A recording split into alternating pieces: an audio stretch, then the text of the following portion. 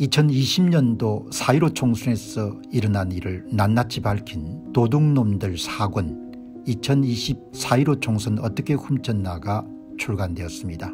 이미 발간된 도둑놈들 1권 선거 어떻게 훔쳤나 도둑놈들 2권 2022년 대선 어떻게 훔쳤나 도둑놈들 3권 2022년 대선 무슨 짓을 했나에 이어서 네 번째 발간된 책입니다. 여러분께서 구매해 주시고 주변에 널리 알려주셔서 선거 공정성 회복을 위한 노력에 힘을 더해 주시기 바랍니다. 감사합니다. 우직하게 이 선거 문제를 파고 들어왔는데 뭐 그 사이에 한 피해도 굉장히 많이 봤죠.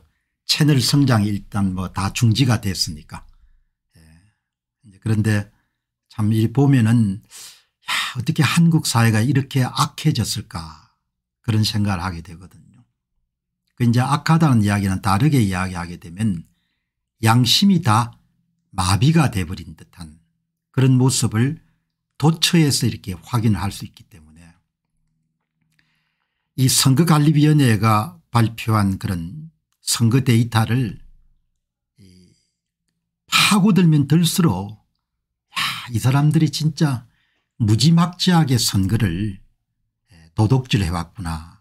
뭐 오늘 여러분들이 이제 나중에 다루면 말씀을 이렇게 주목해서 보실 수 있겠지만 그 시골 촌부가 제시한 전국의 350여 개의 그런 은면동 차원에서 선거관리위원회가 발표한 오전 6시부터 1일차 12개의 누적 사전투표자 수 2일차 12개의 누적 사전투표자 수 도합 24개의 사전투표 누적 득표수가 투표자 수가 전부가 다 조작이 돼 있는 거지 않습니까 그리고 그 조작을 뭐 그냥 예, 행렬로 다 식으로 표시하지 않습니까 예, 그 이야기는 행렬 수식으로 표시할 수 있다는 이야기는 선거 데이터가 조작이 됐다는 이야기거든요.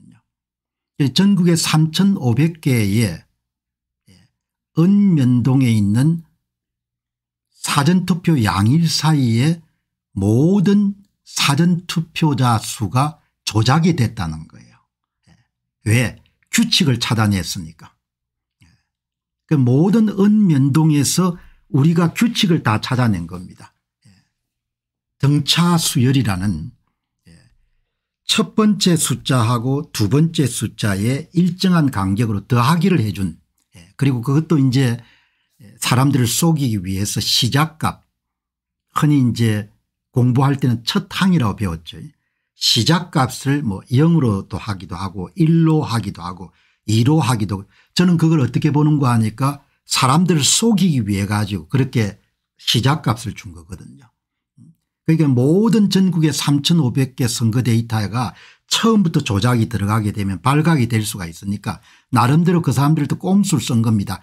뭐 예를 들면은 뭐 한반도 면에 무슨 뭐 무슨 한반도 면은 예, 0값을 시작하고 그다음에 대구 수성구 뭐 수성 일동은 2로 시작하고 그렇게 이제 나름대로 발각되지 않기 위해 가지고 그 한 것이 다 드러나지 않습니까 그런 선거 데이터를 이제 제가 보고 이제 오늘 새벽 일찍 그 제야 전문가의 도움을 받아 가지고 입수한 자료는 예, 이 지역구 선거하고 비례대표 선거에 선거인 수가 크게 다르니까 다르게 이야기하면 투표자 수가 크게 다르니까 그것을 일치시키기 위해 가지고 비례대표의 무효표에 어마어마하게 많은 표를 더해 주는 그러니까 궁극적으로 그 표들이 합쳐져 가지고 역대 사상 최고치의 비례대표 무효표 130만 표가 발생한 거거든요.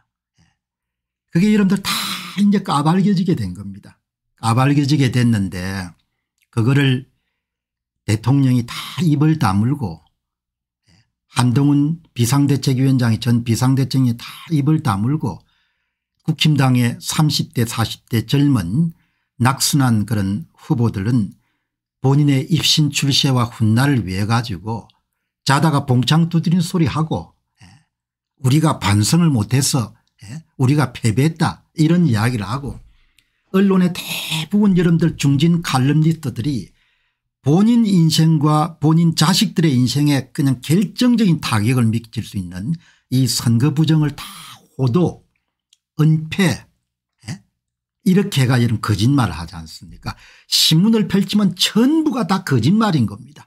예? 대통령도 거짓말하고 국힘당도 거짓말하고 더불당은 뭐 여러분들 주범이니까 거짓말 당연히 할 거고 그걸 제가 보면서도 예. 참 야, 세상이 정말 악해졌구나. 그냥 선거 부정 그 자체도 문제지만 사람들의 양심이 이렇게 죽어가지고 앞으로 나라가 어떻게 되겠느냐.